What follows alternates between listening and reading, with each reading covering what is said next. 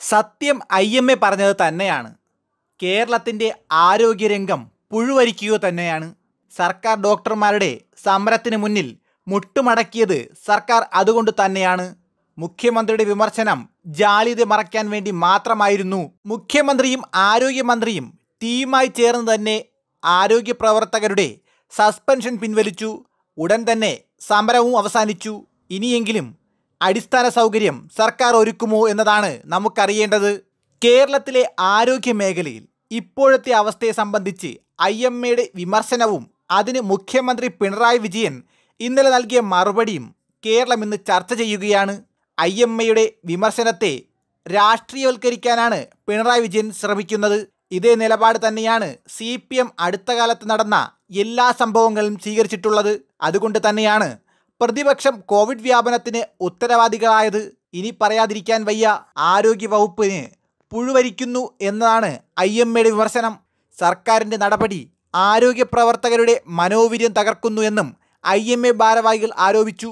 ഗുരുതരാവസ്ഥയിലുള്ള രോഗികളെ പരിചരിക്കാൻ ആവശ്യമായ സംവിധാനങ്ങളൊന്നും സർക്കാർ ഇവിടെ നൽകിയിട്ടുമില്ല നേടിയിട്ടുമില്ല.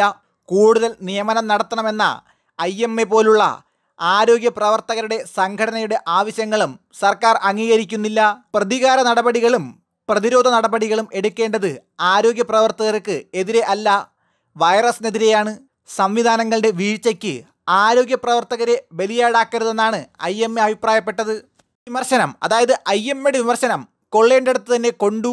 അതിന്റെ ബലമാണ് ഇപ്പോൾ മുഖ്യമന്ത്രി നടത്തിയ അതായത് ഇന്നലെ മുഖ്യമന്ത്രി നടത്തിയ പ്രതികരണം സൂചിപ്പിക്കുന്നത് ഐ എം എക്കെതിരെ അതിരൂക്ഷ വിമർശനവുമായിരുന്നു മുഖ്യമന്ത്രി ഇന്നലെ എത്തിയത്. മുഖ്യമന്ത്രി പിണറായി വിജയൻ പറഞ്ഞത് ഇങ്ങനെയായിരുന്നു വിദഗ്ധർ എന്ന് പറയുന്നവർ നാടിനെ തെറ്റിദ്ധരിപ്പിക്കരുത്. കോവിഡ് പ്രതിരോധ പ്രവർത്തനത്തിന്റെ ഭാഗമായി വിദഗ്ധരെ സർക്കാർ സ്വയം ബന്ധപ്പെടുന്നുണ്ട്.